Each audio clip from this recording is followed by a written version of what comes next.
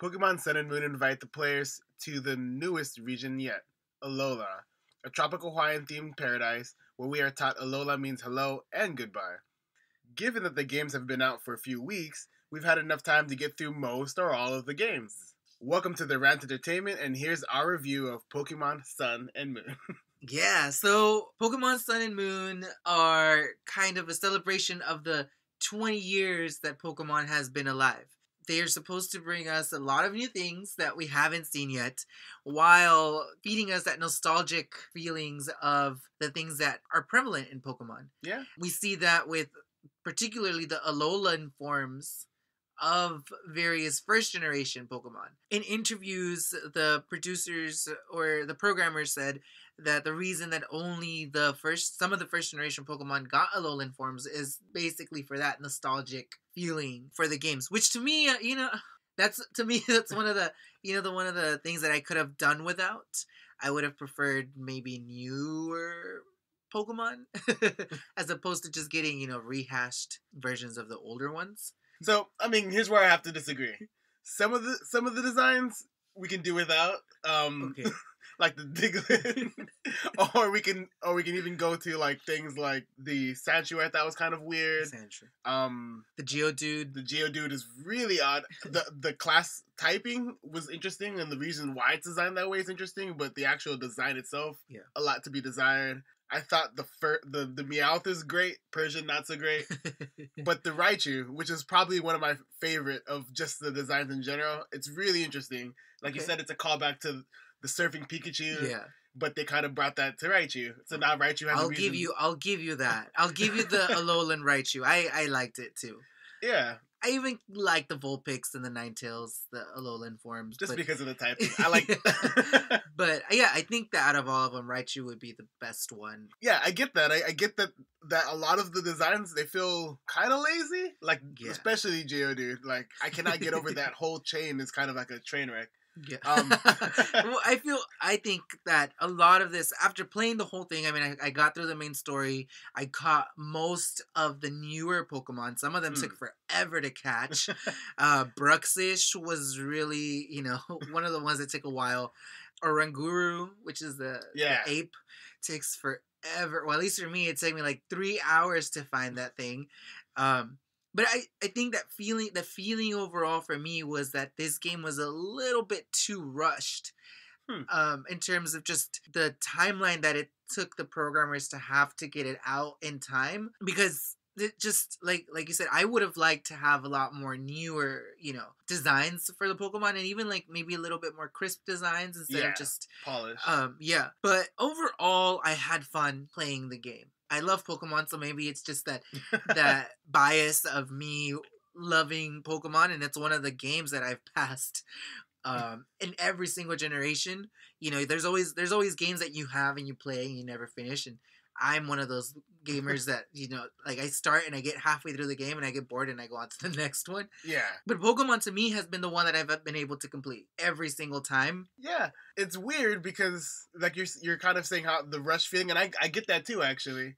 Um, for me, it, it hits hard really with the way that they've developed the game in terms of its difficulty level Mhm. and really with its um story. Yeah. So the thing that hits me the most is the difficulty level. So uh, like do you think that it got increased or do you think that it got decreased? Because to me, it was more like it was a lot simpler. it's simpler. I mean, and and in some ways it's it's good because like take the battle inf- interface. Mm-hmm. So now you can see that what it, what each move does while you're in battle. You just click Yeah. info and it kind of tells you about it, and then it also gives you this how effective the moves are. If you, I believe, if you used it once before Yeah. against that Pokemon, that kind of remembers. yeah, And I think that's really valuable, um, especially for me who um who's like an on again off again fan. yeah, There's so many moves that I just don't even know what they are, and like I think I was explaining how I was using this one move that all it does is change the Pokemon's um typing from whatever it is to grass type yeah, and I just kept using it. And I was like, why is it not doing anything?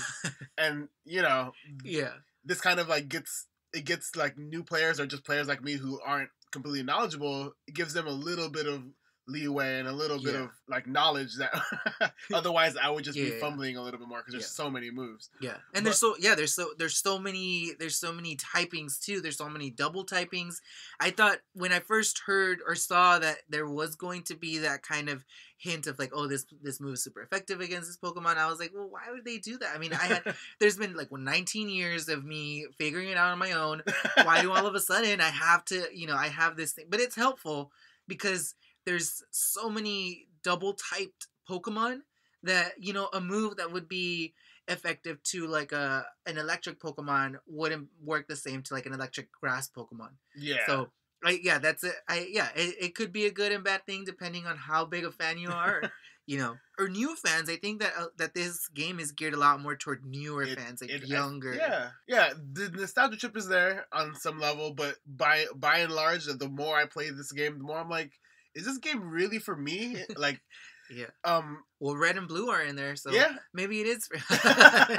But then to kind of like go back to the idea of um like the simplicity of it in Japan, uh, well, it's not really like how it is in America, but consider that Yokai Watch is really popular. It's by far a lot more popular than Pokemon, only in Japan yeah, because it's a very Japanese game. And after playing through the first game, the first Yokai Watch, I haven't finished it because it's a boring game. No offense to Yokai Watch fans, but I didn't it- even get through the demo, so. but it's one of those games where I picked it up, I got somewhat far, and I kind of let it let it go because it wasn't really holding my interest. But then when I'm playing through this game, a lot of things kind of ring bells, and I'm like, oh, this is similar to Yokai Watch now. So one of the big ones for me was the Rotom Dex. So in Yokai Watch, you have this ghost, like he's like literally like a Casper type figure, and he gives you all this information, and he really basically guides you through the game. Now Rotom in here is fused with the Pokédex, and in he, a lot of ways he kind of acts the same way, like a guide type character who keeps you on track, literally. Both Yeah. both by giving you tips throughout the game, and also by telling you exactly where you need to go. Which helped me because I do Yeah. not like to wander in general. I liked I liked that wandering aspect a lot. I, I think for me, you know, games that games that are RPGs like um, Grand Theft Auto, where you can go and wander. I mean, Pokemon, where you can just wander into everybody's houses and just talk to anybody. See how they're stuffle. um, it- that that was the one of the things that I really liked. And and yes, you get lost a lot of the time, and you don't know where you are, but eventually you find your way. But Rotom Dex doesn't allow for you to get lost. Even if you tried, it, No, yeah. it flags places for you. You know, it tells you exactly. You know, this is this is where we're meeting Lillie, or this is where we're meeting. you know, Hau? Hau? I think it's Hau.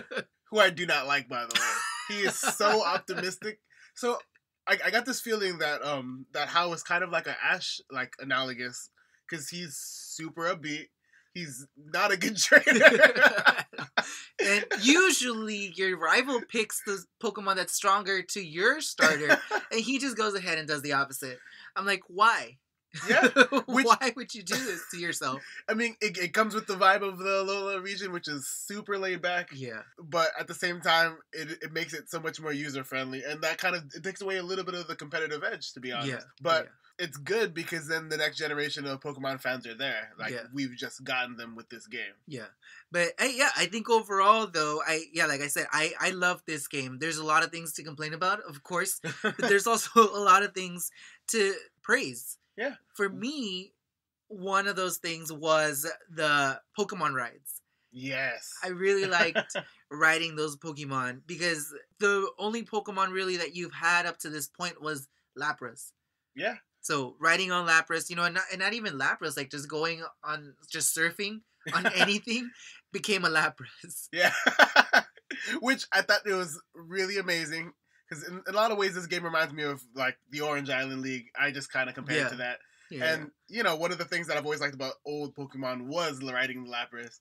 So to to ride Lapras real, literally, and then also to be able to like speed up on Lapras yeah, was like a real treat. And then the removing the HMs to kind of replace them with this, yeah, it was such a brilliant like stroke that I just I love it. Like I I like when I'm walking around, I sniff out for items. Like it's pretty, I don't even like really explore as much as I just try to find Yeah. hidden Stardust. and it also it also eliminates that need for like kind of that one extra Pokemon that you just use for the HMs. I thought that that was you know that's that's that's actually pretty good because you don't have you know I don't want to say useless Pokemon because I don't I don't really think yeah Those that go back into the box. yeah you don't you don't have that need to like have like a Rattata or something yeah. a Raticate in your party just because it can know strength or rock smash or whatever so that was I thought that was a good thing Yeah, it, it's definitely one of the things that I was I really appreciated, and it kind of created this um, concept where everything kind of makes more sense. Pokemon have uses, so to see that oh, Tauros isn't just some random thing that Ash caught a lot of in Safari Zone. 30 to be exact Thank you. but knowing that it actually serves a purpose, and that these Pokemon like they kind of cohabitat this cohabitate? Co Yeah, co-inhabit this world. It makes it made me feel like the world was a lot more alive and re- like it's those little tiny moves that really set the stage for pokemon being a real living thing yeah. as opposed to kind of like the static video game where i'm forcing this Rattata to learn yeah, um, but yeah, I think I, I really do like the Tauros. It's and it replaces the bike too. That's another thing that we don't have any of. We don't have a bike. We don't have the Rollerblades? skates. Yeah. yeah, the rollerblades. Um, we still have running, but I mean, Tauros takes care of the of the running for us. yeah Um, it's also if if you haven't already figured it out, Tauros is also very useful for hatching eggs. didn't know that it just runs around really fast. does Um, that double this the hatching rate no, but it allows you to just ride really fast. Oh. If you pair a Tauros with a Magby or a Magmar or something that knows Flame Body and you run around, it it lowers the amount of steps that you take. So, oh look at you um, and like to be completely like um, even from a competitive angle if you look at the removing the hms it makes it so then you have pokemon where you can um you can build an actual move set that you'll like and you don't need to, to go to the move, move forget guy yeah, anymore the move deleter. yeah move delete yeah, you don't have to have you know your your 100 level Lapras, no surf or waterfall. You can teach it, you know, something useful like ice beam or hyper beam, even thunder. you know, um, but yeah, and then another another thing that we that I thought was kind of in between for this game was just the removal of the gyms and Yeah. the you know the use of kahunas and island trials. So we no longer have that. Oh, the, here's eight gyms. Battle the eight gyms, and then you go to the elite four. Yeah, I mean, it, yeah, they're they're very very new at the whole competitive thing. There's no um, elite four yeah at least at the beginning. and you have, you know, you have kahunas and you have island trials, and the island trials are more like mini games. it's it's weird because when when you get into the island trials okay so one of the things I've never particularly liked about gyms is when you have to do all those little puzzles before you get to the, the gym leader. Those are the fun things. No. I like murdering every single gym, like every single like person in the gym, and then I get to the, the, the leader and, and fight. I do not like sliding on ice. I do not. Falling through the ice. Yeah. Some of them more annoying, but I I, So I like it. in general, the island trials are interesting because then they kind of for- force you to po- pay attention. Yeah. You know, in a lot of other Pokemon games, I'm guilty of just clicking A and waiting for it to be over. In this game, I actually have been making an effort to read everything because not only do you have to do it in the island trials, You also have to figure out which Marowak is not the same. Yep. Which I could not figure out. It- it- towards the end, it gets a little easier, but I think it's interesting that they find these new ways to kind of engage the player and challenge them to actually pay attention. It's like as if they realize that I have been pushing A my whole life, and they're like, find the Marowak. What's different? I liked it. It wasn't. I mean, it, it's not too big of a complaint. I mean, I've been used to battling eight gyms like for 19 years, but it's it's a breath of fresh air. I think you know I can't I can't really complain about it. It's it's something that's different. I think that Pokemon is definitely reevaluating what it means to make a Pokemon game yeah, and that part of it could be because of Yokai Watch, but the other part of it is because I think they realize that they have to have an in between for these games. You have, you know, the older people, the Gen Oneers, you know, who are like, we're gonna always say, "Oh, the first generation's the best." which- no, no, it has Voltorb. I don't, I don't agree with that. I mean, to me, it's every every generation kind of builds upon the last ones. Um, and I think that this one really does a good job of building upon the last six generations that have come up.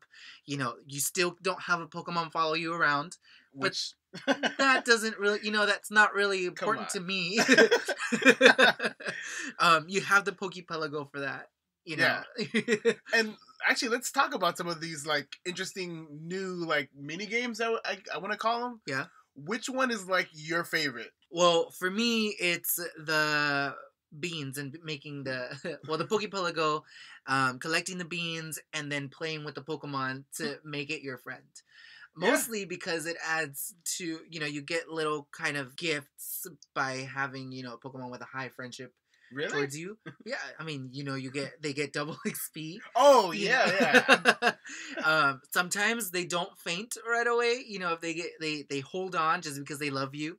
So I think you know and oh, they get a critical hit sometimes. yeah, they get critical hits, and I still wish that you could pet them after they make a Pokemon faint, but that's you know that's beside the point. Yeah. So yeah, to me it's that. Yeah, they really did build on like just the idea of Pokemon being like companions, not just things you constantly make faint. Um, I've been having a struggle with getting my Magby to evolve because I keep making it faint. but um, for me, my favorite um Pokemon minigame, I I want to call it is uh, Pokefinder. yeah, So this game, like, it's a love letter to the, the old fans in a lot of ways, and I think this is my favorite letter. It's Pokemon Snap all over again, Snap. and you know, you I, I've only found a couple of Pokemon that I can just actually take pictures of, but I really don't mind like spending five minutes moving my 3DS all over to get a really good picture of Growlithe.